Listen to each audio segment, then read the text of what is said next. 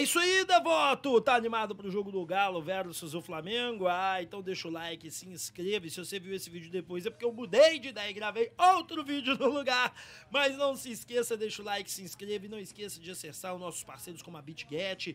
A melhor casa de criptomoeda do mundo está aqui, não perca tempo, baixe agora e olha, abra sua conta. A BitGet é um lugar para você fazer aquela renda extra. Boxbit, a cadeira gamer do Galo, passar de até 10 vezes sem juros, o link está na descrição. Gerencianet, banco digital de verdade, é com a gente da Gerencianet. SpetBet, a melhor casa de aposta do Brasil é a SpetBet. E Grupo GED, economiza energia como gigante, economize agora. Baixe, converse com um dos nossos atendentes, economize até 15% na sua conta de luz, sua ou da sua empresa. Galera, é muita conteúdo e informação, como sempre, aqui no canal Vineco. Tá na capa, tá na tela. Urgente, galo forte no mercado russo. Vamos atrás de jogadores. Senhoras e senhores, ontem, num ótimo bate-papo que tive com algumas pessoas, né, tive a informação de que o mercado russo deve, depois de junho, diminuir demais o ritmo, não deve manter muitos jogadores, os altos salários serão impossíveis de manter, uma vez que a economia russa está em frangalhos.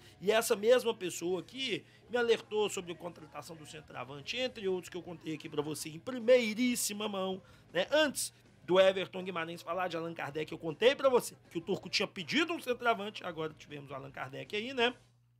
Essa mesma fonte me contou que Rodrigo Caetano diretoria do Atlético monitoram pesadamente o mercado russo, pois deve ter uma boa debandada de brasileiros e outros de lá. Bom, todos são obrigados a cumprir contrato, mas também desde que receba. Ir para o mercado russo, ter, ter, jogadores isolados, ter jogadores que não estão jogando Champions, ter jogadores que estão apenas lá, não é interessante, até porque eles não podem fazer negócios. Então, para eles é muito melhor se livrar do alto salário, colocar o cara para jogar no Brasil, colocar o cara para jogar em outra liga e desta maneira valorizar o seu ativo, valorizar o seu jogador. É uma notícia muito interessante.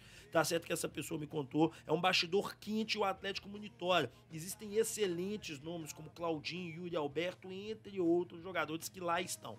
Bom, vou fazer um vídeo levantando todos esses jogadores pra gente trocar uma... Todos não, mas os principais jogadores pra gente trocar uma ideia e ver quem poderia aí reforçar o Galo. Lembrando aos senhores que a FIFA também liberou, junto aí com a... Com a é, esqueci, a, da Europa lá, é, que jogadores do futebol russo e ucraniano possam estender os seus contratos até a metade do, do, ano que vem, com times de outras nacionalidades sem prejuízo, sem problemas. E esse seria o melhor caminho. Cara, interessantíssima essa notícia. Não se esqueça, deixa o like, se inscreva no canal e ative o sininho de notificação, beleza? Mais tarde eu volto, como sempre, com muito conteúdo do Galo aqui para vocês. Galo, esperto, vai vir muita sondagem pesada aí do mercado russo. Valeu!